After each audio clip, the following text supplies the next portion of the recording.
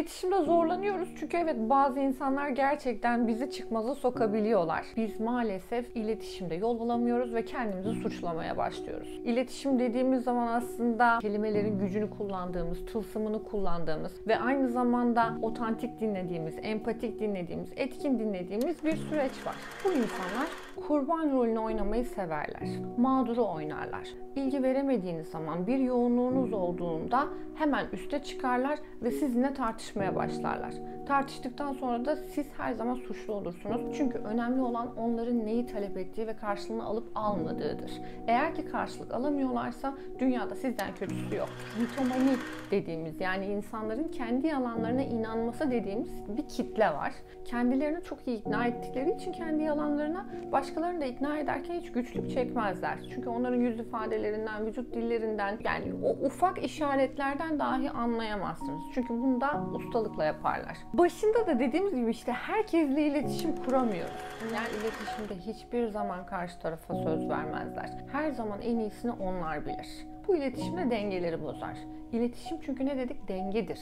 Karşı tarafa fırsat vermiyorsan, sen sadece kendi dünyanı anlatıyorsan burada bir problem vardır. Ya da sahip olduğu imkanlarla ilgili başkalarının üzerine baskı kuracak şekilde iletişim kuranlara dur demek lazım. Negatif insanlar hayatımızın her yerinde. Ancak biz ne yapacağız? Bu negatif insanlardan uzak durmanın bir yolunu bulacağız. Siz fark etseniz de fark etmeseniz de bu insanlar sizi bile isteye zehirliyorlar. Kendi gözlükleriniz kirleniyor. Dünyaya bakarken aslında umutsuz bakmaya başlıyorsunuz. Burada polyan olmaktan bahsetmiyorum. Aslında tam olarak polyan olmaktan bahsediyorum.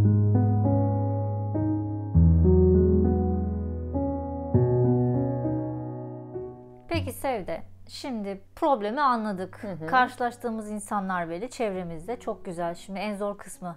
Bunu nasıl yöneteceğiz? Ne yapmamız gerekiyor? Birinci koşul şu arkadaşlar. Ne kadar iletişime önem veriyor olsak da, ne kadar iyi niyetimizle davranıyor olsak da herkesle iyi geçineceğiz diye bir şey yok. Herkesle iletişim kuracağız diye bir şey de yok. Elimizden geleni yaparız. Ama baktık olmuyor, baktık karşımızdaki ısrar ediyor.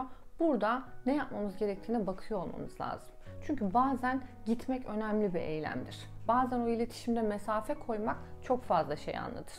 Ya da bir sessizlik insanda değiştirilmesi gereken birçok şeyi değiştirebilir. Bunlara dikkat ediyor olmamız lazım. Ya da karşımızdakine davranışlarının ne olduğunu açıkça ifade edip bizde hissettirdiği duyguları ona aktarmak da bir yol olabilir. Yani sen şu anda bana bunu yapıyorsun. Ben sana hayatımla ilgili çok önemli bir şey anlattım ve sen beni dinlemiyorsun. Beni manipüle ediyorsun. Ancak ben şu anda kendimi çok değersiz hissediyorum.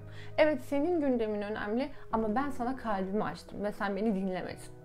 Şimdi böyle bir yaklaşımda kişi kesinlikle duygularınıza bir noktada kulak vermeye çalışacaktır. Çünkü onun ne sebeple bunu yaptığını, motivasyonunun ne olduğunu bilmiyoruz.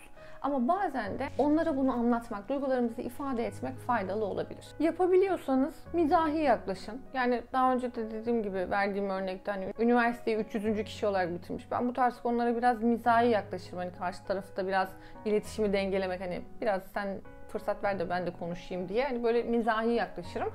Bu yöntemi kullanabilirsiniz ya da çok gerekiyorsa yansıtın, aynalayın. Yani o size ne yapıyorsa o anda, sizin önem verdiğiniz bir konuyu anlattığınızda o nasıl tepki veriyorsa aynısını bir kez ona yapın. Bak sen de böyle yapmıştın. Bu sana kendini nasıl hissettirdi? Eminim benim gibi hissetmişsindir. Şimdi gel bu durumu toparlamak için ne yapacağız? Bunu konuşalım diyebilirsiniz.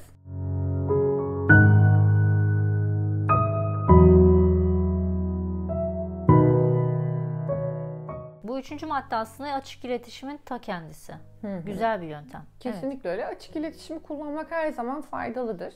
Yani bu duygusal epidemi yaratan bu kişilere karşı aslında biraz da kendi gardımızı alıyor olmamız lazım. Çünkü nereye kadar onlarla mücadele edeceğiz? Bazen de iki ayak kuralına uyup bir mesafe koymak, gerekirse gitmek de önemli bir çözüm. Çünkü sessizlik de insanlara bir şey öğretir. Biz burada bizi bilerek üzen, yoran insanlara karşı mücadelemizi bir noktaya kadar verebiliriz.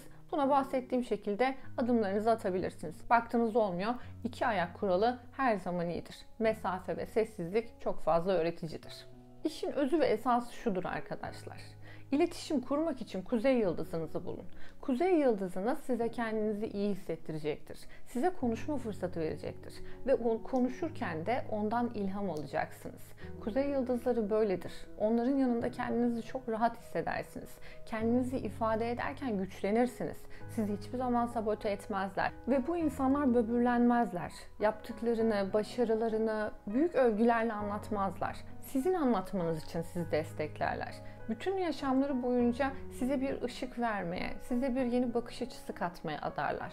Bunlar değerli insanlardır.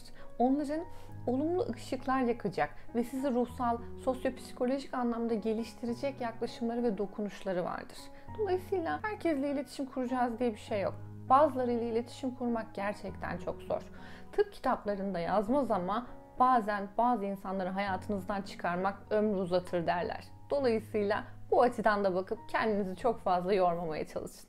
Bu noktaya kadar beni dinlediğiniz için çok teşekkür ederim. Kanalıma abone olup videomu beğenmeyi, beğendiğiniz videolarımı sevdiklerinizle paylaşmayı, yorumlarınızı ve sorularınızı da bana iletmeyi lütfen unutmayın. Tekrar teşekkür ediyorum vakit ayırdığınız için. Görüşmek üzere.